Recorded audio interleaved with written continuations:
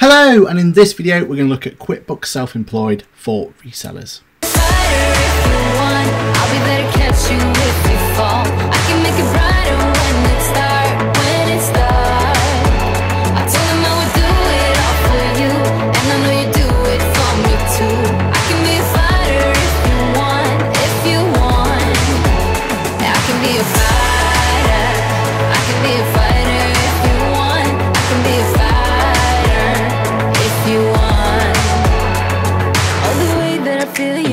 Cause I can get him out of my head. Hello everybody, my name's Aaron Patrick. I'm a qualified chartered accountant and also I'm a certified UK QuickBooks trainer. Now in one of the earlier videos I did, we looked at how QuickBooks can be used for UK resellers and the biggest amount of comments I got back from that is what about if I was a little bit smaller? And what about if, as a UK reseller, I was more in line with kind of part time work, I only did a little bit on the side? Is there any other software I could use? Now, for that, the one piece of software we're going to look at today is QuickBooks Self Employed. So please, you know, consider that if you're full-time reseller or you're doing quite a few transactions is quite complex in the way that you're doing with it do revisit my last video and look at how QuickBooks the full version of QuickBooks can be used but if you're using UK reselling as just to supplement some income or it's a part-time job or you're not really having that many transactions going through then consider QuickBooks Self-Employed as a perfect solution for you. Now one of the key differences between QuickBooks and QuickBooks Self-Employed is QuickBooks itself is designed for full-blown bookkeeping. And what I mean by that is at the end of it, you're going to get a profit and loss account and a balance sheet and a trial balance. That's going to be really useful for generating things like limited company accounts and sole trader accounts and more complicated accounting issues. Whereas QuickBooks Self-Employed strips away all of that complication and just gives you a really useful way for you as a business owner to be able to quickly record a transaction, to record an expense or record some income. One other key difference of QuickBooks Self-Employed versus QuickBooks is at the very very end of a tax year, QuickBooks Self-Employed gives you all the tools you need to actually file your tax return directly in the software itself. So if you do need to complete a tax return just because you're doing a bit of extra income through UK reselling, then QB Self-Employed could be an ideal for you because once you've compiled your actual records for a particular year, you can then use QuickBooks Self-Employed and just file it directly from there in terms of your tax return. It's going to incorporate everything else you may be having outside. So if you've got a, a part-time job or a full-time job as well, you can actually put all that information into the software as well and then when you submit your tax return you're going to be confident everything's been included. As an accountant I obviously prefer the QuickBooks full version, the QuickBooks Online full version uh, because it gives me a lot more chances for me to make my work more efficient for clients and everything else. But QuickBooks Self-Employed definitely has a place for the UK resale market. And I think that today we're going to have a look at that. And then that should give you an indication of which one works for you. Do you need the full version or do you need a self-employed? Now, it doesn't matter which version you, you do use, do get in touch with me because I'll be able to sort you out with your very own license, far, far more cost effective than going anywhere else. So okay then, with that in mind, let's have a look at the software then and see what we can use it for. So first and foremost, as soon as you log in, you'll notice we're given a dashboard.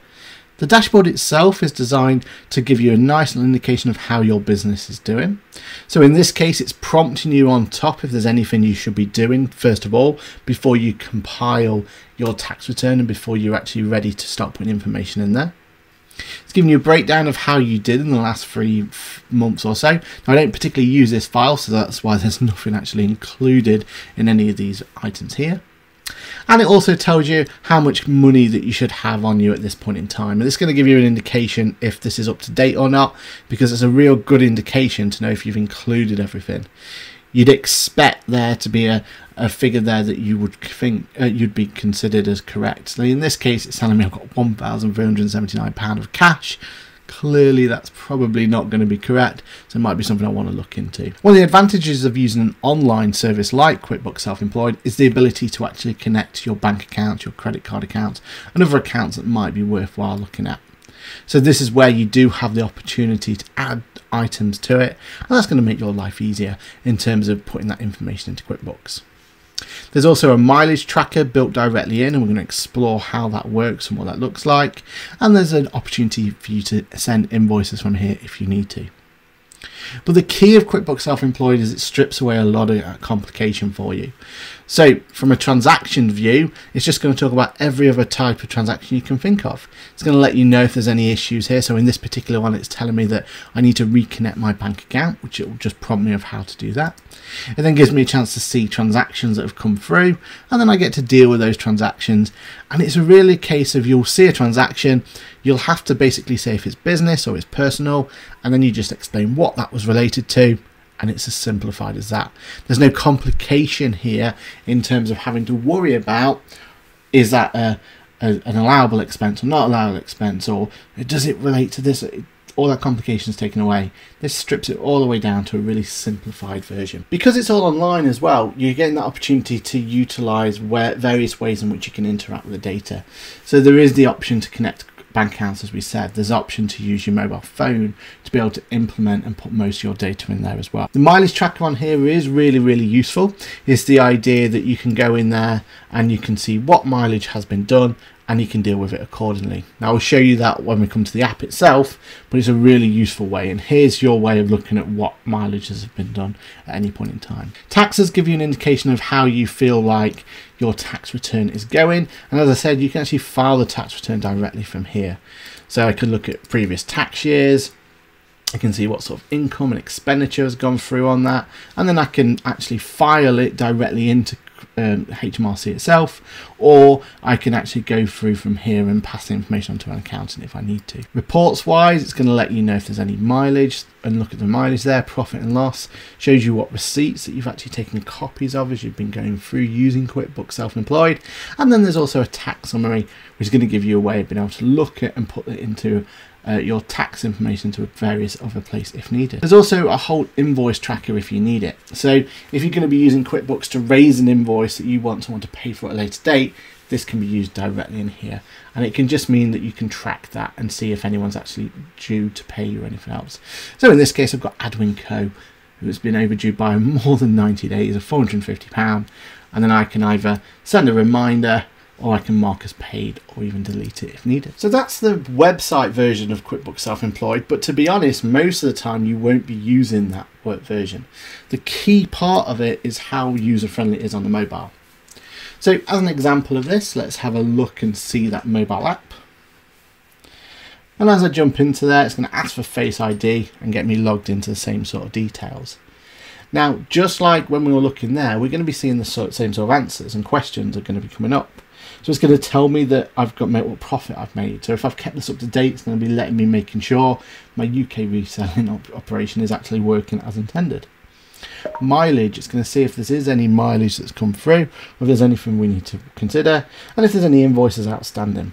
It's going to let me know any bank account balances I've got, or if I've got anything to do with things like credit cards or anything like that that's connected, I'll be able to see those transactions coming through as well and it's really user friendly. The idea is there's this green plus button at the bottom down there and the idea is as soon as I press that button it gives me the opportunity to quickly do something.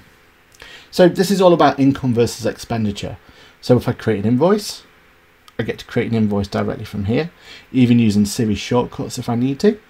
I All I need to do is add a customer, either add a brand new one or pick an existing one, and say that I've sold something. So in this case, I'm going to do IT services, add, and add that transaction in. Then I can say how the payment details are, so how they would actually make a payment for me. And then once I've done that, I can create that invoice directly from here. Now, ideally, invoicing is all about you're sending an invoice out and then they'll pay later. So you don't necessarily have to use invoicing for UK reselling. You could just record the income's coming into the bank account, so like your PayPal transactions have come in, for example, and you could just record that as your income. That's probably going to be the most efficient way of doing it. But if you do have anything like cash transactions or anything else, then you might want to consider doing these manual transactions here.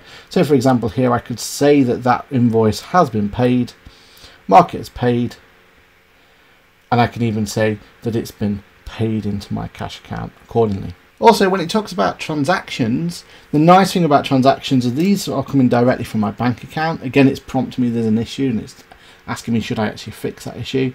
But it doesn't matter what the transaction is, I literally go into it. I get to ask to say if it's business or if it's personal, or if it's split, so maybe some of it's business, some of it's personal. I get to click on business and say what the type of transaction is. And they're all laid out for me here so I can just pick which one it's going to be. And you just have to pigeonhole to the best of your ability.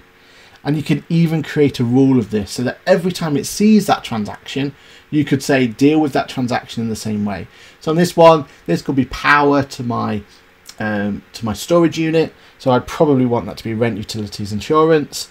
I want to create a rule every time it sees Scottish Power coming in it's automatically going to put it there for me, make it nice and easy.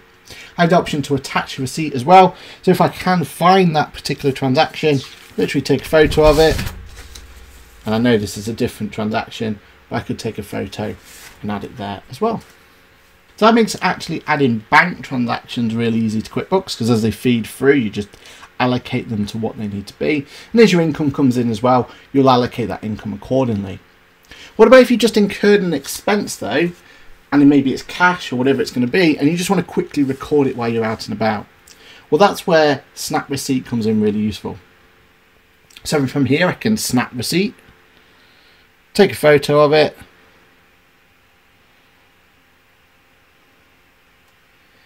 then I can adjust that photo accordingly,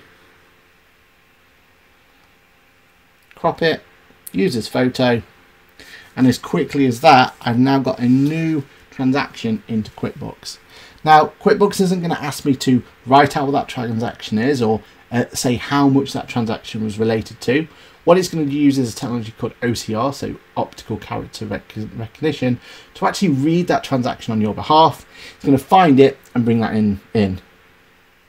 And as an example of that, if I go all the way to the bottom of this list, I've got some Byron transactions here, where if I click into the Byron, you can see that it's read that it was 28th of January 2018, 31st, uh, £31.25p. Then it's asking me what to do with it. So I could say this was business and this was entertaining. I can even create a rule that every time it sees a Byron receipt to do that with it. And I can even view the actual receipt itself. So if I view this, this was taken and, and uploaded to um, QuickBooks a while ago. So as you can see there was that transaction just put directly in. And then I can save it. Now one other thing that's really useful when you're doing it this way is record retention.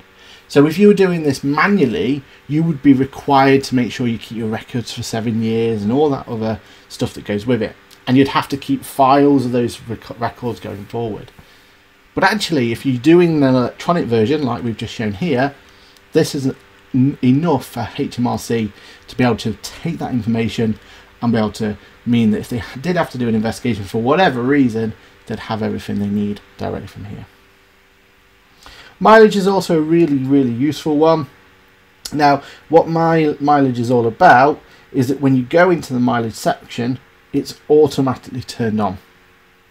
And the idea here is that all you have to do to record mileage is you jump in your car and then it's going to know that you're moving from A to B. And then the idea is that once it's found those transactions, all you need to do then is have a look. So I'm going to filter from a previous tax year. You'll have the option then to have a look at all these transactions and it's just about you reviewing them and saying are they business or are they personal.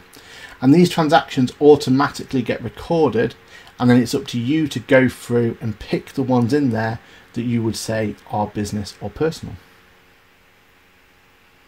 Finally from here, from the phone itself, you get that same functionality of being able to do your tax return directly in here. And it gives you the opportunity to go through, make sure you're happy with them, add some basic information like if you're single or married and your personal allowance. You can put in there some PAYE income so you can estimate it so it's going forward. And you can also put some allowances like working from home. It's a really useful way of just being able to give you an opportunity to see roughly what your tax return is going to be and then you also have the opportunity to file it directly from here at a different time as well. Other functionality on here that you know sometimes underutilized is the ask an assistant option and here you get the opportunity to even use it like a Siri device and you could say what's my income for this particular period or whatever the question is going to be. And that way, that information can come up to you more fluidly without you having to dig into reports. You can just ask QuickBooks and it's going to give you the answer. So there we have it. That's a real quick look at QuickBooks Self-Employed. It's really useful for small UK resellers who just need that little bit of extra income and just want to record that extra income as appropriately. Now, one of the other things that's useful about using software like this is just how efficient it is to quickly get that information into the software that means if you do have an accountant, they can advise you if you need to, or you can see yourself how it's going. The tax system in the UK can be quite complicated, so there are certain situations where it's better off for you to be a typical type of business compared to another, so limited versus sole trader. But this gives you an opportunity to see all that data in pretty much real time. So the idea is there's no surprises later down the line when you're doing a tax return and you see how much tax you've got to pay. The idea is that if you've already kept on to date of it, up to date with it, the system can see that and give you an estimate of what your tax bills are going to be and hopefully then you're prepared for it when it comes around to paying those taxes. I'm a big advocate of QuickBooks and I know there are other ones out the market that we're more than happy to look at as well but really the idea is if you connect your bank account, you connect your PayPal account, you take photos of things while you're around, use the mileage tracker to make sure you're claiming for business miles, you're going to make your life a lot easier in terms of getting those tax returns filed way before the deadline, get them all up to date, and then when it comes to the deadline of making payment, you have no nasty surprises, and hopefully you can pay them more comfortably in the future. Well, that's been me. I've been here to help you make sure you get the best out of the software. And if there's any more questions or anything, remember the comment box down below or reach out to me on Twitter, whatever's easier for you. And if there's anything else you want me to look at from a UK real, real sell, reseller point of view, I'm more than happy to do my bit. I'll see you in the next video. Take care. I say yeah, yeah, yeah, yeah, yeah, yeah, yeah. I